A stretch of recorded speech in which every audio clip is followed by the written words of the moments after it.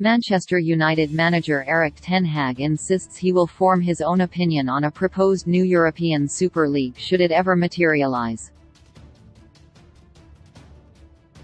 European development company A22 Sports Management is promoting a revamped Super League after it crashed and burned within 48 hours of its launch in April 2021. The venture was trumpeted by United co-chairman Joel Glazer but the club's supporters protested vociferously against it and forced the postponement of the home Premier League fixture against Liverpool on May 2, 2021.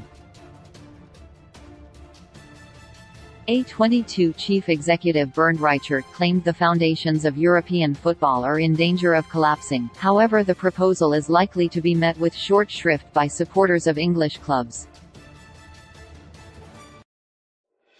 When the revamped proposal was raised at Ten Hag's pre-match press conference on Thursday, he said, I am aware of the dynamic of what's going on in sections but if I see they're coming up with new ideas I have to have a look at it and I will make an opinion.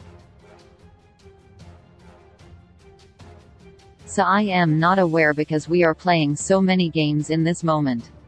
We have to develop this team, we have some problems with new players to bring in, so that's where my focus point is, therefore I need all my energy. About new European competitions, other people at the club will have a look at it and inform me if the time is there and we have to make decisions. But the decision is up to the club. I think the current structure is good but there will always be initiatives to make it better, to make the football better and that is what life is, people always want to construct better, which is a good thing because if it is in favor of the football, it is always good. The original plan for the Super League consisted of 12 founding member clubs in a 20-team league. United, Liverpool, Arsenal, Tottenham, Chelsea, Manchester City, Juventus, Inter Milan, AC Milan, Barcelona, Real Madrid and Atletico Madrid initially joined as founding members before an intense backlash.